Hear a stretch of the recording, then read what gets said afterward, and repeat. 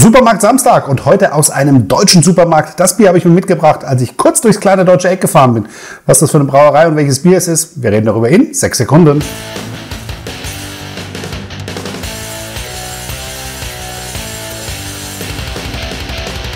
Hey, schön, dass ihr dran geblieben seid und damit herzlich willkommen zur heutigen Bierverkostung. Ich freue mich, dass ihr alle mit dabei seid an einem Supermarkt Samstag.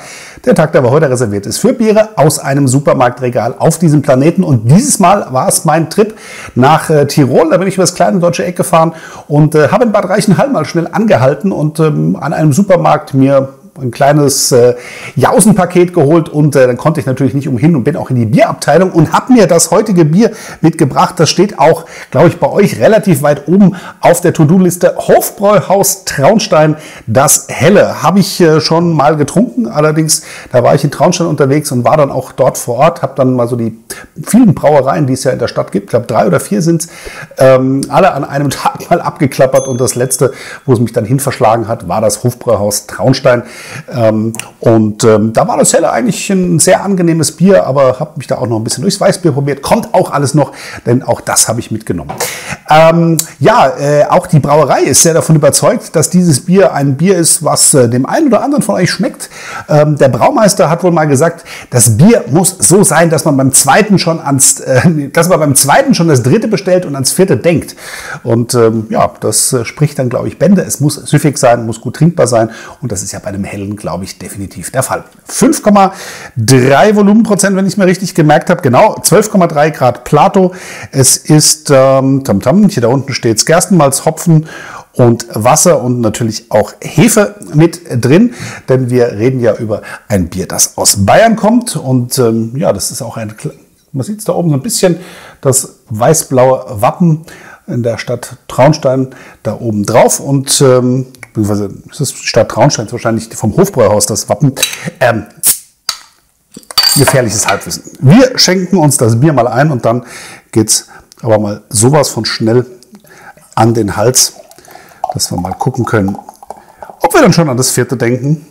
Ich wüsste jetzt gerade nicht, wo ich mir das dritte bestellen könnte, aber es ist ja auch mein erstes. Insofern, das galt ja nur fürs zweite. Eine überraschend helle ähm, goldene Farbe, glanzfein, ein schöner weißer, kräftiger, was ist das hier, drei Finger breiter Schaum obendrauf in der Nase. Oh, das ist aber Oh, da bin ich aber überrascht. So getreidig, helles Malz. Schön ähm, so florale Noten dabei. Leichte Hopfennoten, insgesamt super frisch. Aber auch so eine leichte Karamellnote, die im Hintergrund so ein bisschen mitschwingt. Oh, gefällt mir gut. Setzen wohl. Cheers.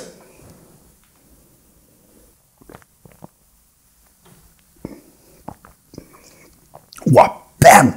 Das ist ähm, überraschend jetzt für mich, weil es ja von der Farbe her ähm, eher auf der helleren Seite zu Hause war. Aber das hat eine richtig kräftige äh, Malzsüße. Es hat auch eine schöne Fruchtigkeit, so ein bisschen Trockenobst dabei, äh, auch Zitrus mit am Start. Kräutriger Hopfen. Ähm, schön vollmundig, super balanciert. Ähm, eine ganz angenehme, so ein würziger Charakter im Hintergrund, aber es ist auch vom Mundgefühl her, es ist einfach sehr leicht zu trinken. Ähm, und auf einmal gibt dann so eine, so eine Herbe von hinten, äh, ein bisschen Gas.